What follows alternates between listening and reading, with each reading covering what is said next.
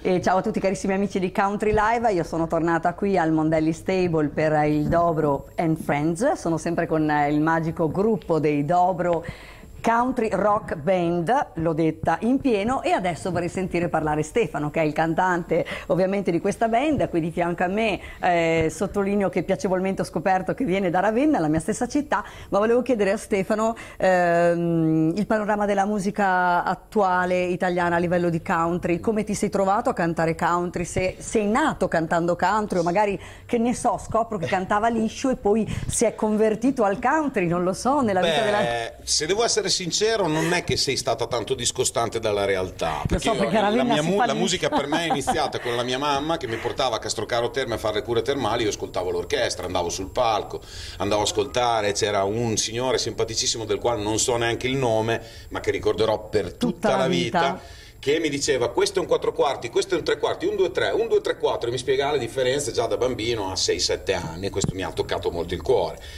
Da allora io mi sono avvicinato a tanti generi, ho suonato rock, ho suonato tante altre cose, però il country è la cosa che mi ricorda di più casa mia, venendo anche dall'estero. Nel senso che è uno di quei generi che secondo me con la Romagna e l'Emilia, insomma, la nostra regione ci prende abbastanza perché noi siamo campi, stiamo fuori, c'è il trattore, ci sono le stesse delle cose molto simili, ovviamente un po' più in piccolo. Io lo sento un po' a casa mia il country, l'ho sempre sentito fin da bambino, ascoltando, guardando il cane fuori che corre nell'aia, queste cose a me me lo ricordo, le galline nel polaio, sotto le mie galline personali, Cioè, i miei animali, eccetera, c'è una bella differenza. E quindi ascoltando e traducendo i testi in inglese delle canzoni country ho assaporato quello che mi sono reso conto che non c'era tanta differenza da quello- dal loro modo di vivere al mio, Dai. anche se io invece guardando la televisione da bambino pensavo ci fosse un'enorme differenza. Questo mi ha avvicinato molto, già da piccolo, quando avevo 10-12 anni, ascoltando Dean Martin con mio padre mentre guardavamo i film, My Rifle, My Pony e Me, tutte queste cose.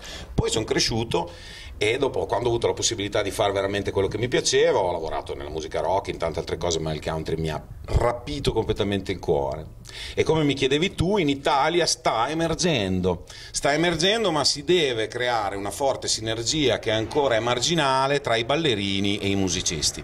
Perché la cosa viene vissuta in un modo piuttosto, diciamo così, superficiale, no? Cioè, non si può neanche pretendere che tutte le persone conoscano la storia della musica country. A me già va bene che gli piaccia perché comunque hanno fatto una bella scelta. Però credo che bisognerebbe riflettere su quello che noi andiamo a fare. Cioè, quando noi balliamo un passo di ballo o ascoltiamo una canzone alla radio di musica country, dovremmo porci eh, il quesito: ma che cosa stanno dicendo queste persone? Di che cosa stanno parlando? Parlando. Perché delle volte, ascoltando degli accordi maggiori, noi pensiamo che una canzone parli d'amore, mentre invece sta parlando di uno che si sta suicidando, Suicidando, magari. sì. Mm. Perché se non sappiamo esattamente la tematica è così.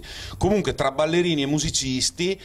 Bisognerebbe cercare appunto di creare una forte solidarietà e sinergia per poter andare avanti e questa potrebbe essere la chiave vincente per rendere l'Italia un mondo country anche qua, È così come in America. C'è È chi sta vero. già cercando di farlo, ma si può fare anche di più. Eh, lo so perché ho già fatto un'intervista, grazie Stefano, meraviglioso. Io ripasserei parlando proprio di questo ar- ar- argomento, scusa, poi il microfono ce l'ho qua, non so perché te lo porto via, ad Eugenia, sono una centatrice e volevo proprio affrontare questo discorso. Allora, dal 79 che è nata la band sicuramente avete visto tante albe, tanti cambiamenti in questo mondo che, ripeto, è esploso negli ultimi due o tre anni, concedetemelo, è entrato in tutte le case, adesso pare che eh, tutti ballino country, che l'abbiano sempre fatto, ma eh, come cerco sempre di sottolineare quando faccio la trasmissione, eh, non è ballare country, non è musica country, è uno stile di vita country che va capito, che va compreso, dal cappello alla scelta dello stivale, alla anche il tipo di ballo, a come tieni la mano, è già una diversificazione, sono tante le cose, ne abbiamo parlato sempre con, con tanti insomma, professionisti.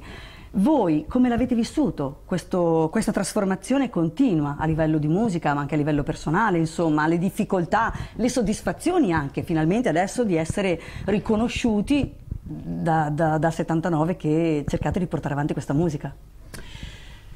L'argomento è, è spinoso decisamente, soprattutto per il fatto che in giro c'è molta gente che mh, anziché avere lo spirito giusto della collaborazione, del bene comune, pensa molto al proprio orticello. Diciamo che personalmente, ma credo di parlare a nome anche di tutta la band, tutto quello che è nella direzione del nostro genere musicale, che sia il ballo che segue il country, che siano le band, che sia la musica, qualunque cosa, che siano i media che cominciano pian piano forse a trasmettere a parlarne, qualcosa, sì. va bene, va bene tutto, non è sbagliato eh, quando senti discorsi, ma i ballerini, il DJ, il- no, va bene, è country.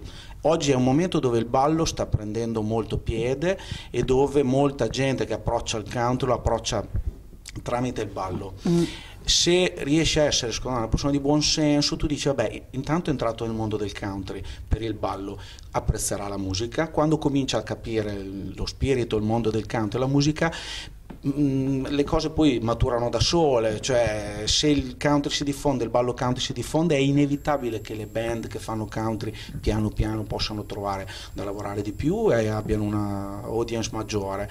Quindi guardare il fine ultimo e non avanti un- una spanna dal naso è quello che noi facciamo e fino ad oggi è premiato sinceramente.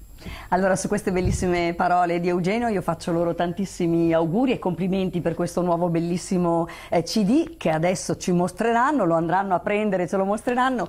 Eh, andiamo di là perché ci sarà una grande serata qui al Mondelli Stable. Grazie a tutti voi di essere stati qui con noi, davvero, di averci voi. regalato un Grazie. po' della vostra magica esperienza. A tutti voi, a presto, grazie, ciao. ciao. ciao.